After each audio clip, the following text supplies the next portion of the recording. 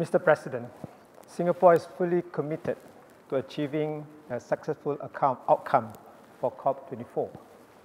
The recent IPCC special report on 1.5 degrees Celsius has warned that the global warming threshold may be breached as early as 2030. Clearly, we need urgent, collective, and coordinated efforts by all. Success at COP24 will be measured according to the following.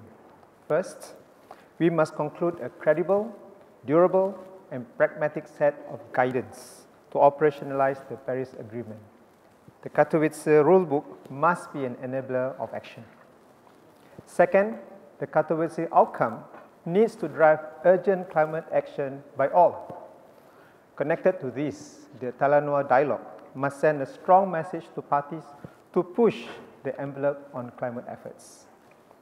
Third, COP24 must deliver a package of decisions to support the implementation of the Paris Agreement by all. We must ensure adequate support for developing countries, particularly SIDS and least developing countries to implement the guidance. Singapore is fully committed to supporting global action on climate change we have submitted an ambitious but challenging NDC. Indeed, as part of our plans, Singapore will be implementing an economy-wide carbon tax in 2019, the first country in Southeast Asia to do so. To galvanize ground-up action, Singapore designated 2018 as the year of climate action.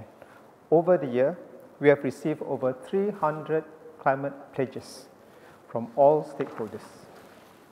We are also taking steps to protect ourselves against the adverse effects of climate change.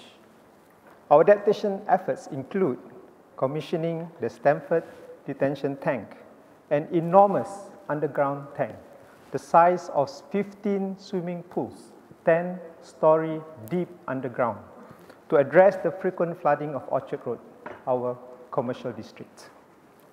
As the chair of ASEAN, Singapore has worked to make climate change a priority. At the 33rd ASEAN Summit, ASEAN leaders adopted the ASEAN Joint Statement on Climate Change. Singapore also convened the special ASEAN Ministerial Meeting on Climate Action, SAMCA, and expanded SAMCA in July to step up regional, regional action to address climate change. ASEAN is making progress. It has exceeded its energy efficiency target reducing energy intensity by more than 20% in 2016 compared to 2005, well ahead of its 2020 target. Ladies and gentlemen, Singapore is a keen advocate of a multilateral, rule-based approach to addressing climate change. Singapore is also doing our part to support fellow developing countries. For this, Singapore launched a climate action package in July to help fellow developing countries build capacity. Mr. President, the Paris Agreement was a hard-fought agreement. We must leave Katowice with a credible, durable, and pragmatic rulebook that enables all parties to implement the Paris Agreement in good faith. Thank you, Mr. President.